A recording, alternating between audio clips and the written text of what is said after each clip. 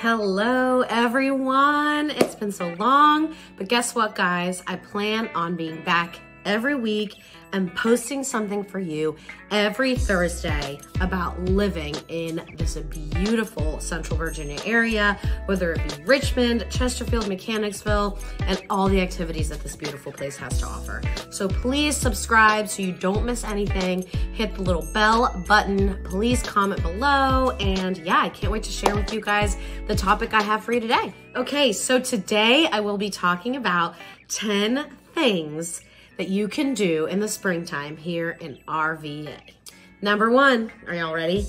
Enjoy a beautiful picnic on Capitol Lawn. So that is in the heart of downtown, almost in between the fan and Church Hill. It often gets overlooked as just not really a spot to hang out in, but it's such a beautiful place. It gives you such a crystal clear view of the city. It's easy to get to, it's romantic, and also a little pro tip, Fourth of July fireworks are the best there. A lot of people go to that spot and it is so epic. Next on the list, and something that uh, my hubby and I used to do before kids. We would take our dogs for a walk at Hollywood Cemetery. It is truly a gem. It sounds a little scary um, and ominous, but there are presidents buried there, Confederate soldiers, and other really, really incredible political um, and important figures in Virginia. And it's just, again, the most beautiful place.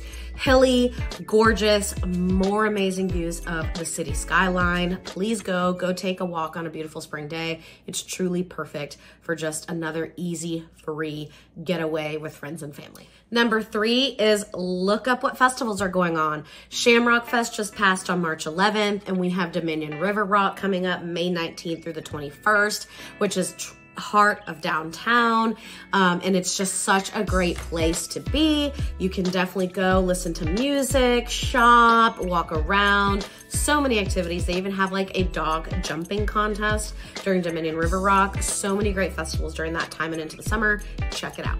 Number five, are y'all ready? Shopping at the South of the James River Market. It is such a great farmer's market. It's massive. It has some of the best of the best small local businesses organic finds, delicious treats, beautiful flowers, jewelry, meats, cheeses, perfect little gifts. If you are like the most amazing gift giver and you like to personalize everything and get somebody something that is unique and one of a kind, this is the place to go. Such a great place for family, for a, girls' weekend, for a guys' weekend, uh, walk the dogs, whatever you want. It's literally one of my go-tos. Number six is catch a movie at the Byrd Theater. It's literally in Carytown, um, right in Richmond. The tickets range from four to eight dollars. They always like to play older movies, so it's not like the newer movies that just came out, but it's those great classics that you love and that you can watch like 25 times. The seats are beautiful. The theater is historical. It is just such a magical place and a very, again, cheap and affordable uh, place to go with either kids. You can make it a family night, get some popcorn, or go on a first date, romantic getaway midweek. It's just such a great spot. Number eight is taking a tour of the Virginia House. It is such, such a beautiful place, true history in Richmond, Virginia. It was relocated from England to Richmond in the 1920s. It sits on this beautiful hill overlooking the James. Again, just such a beautiful place to go do outdoor activities. And if you're a history buff, you'll enjoy it too. If you're an architecture buff and design buff like I am, you'll just love being there. Another perfect picnic spot. Number nine is one of probably my favorites is catching a squirrels game. We have one of the best baseball teams.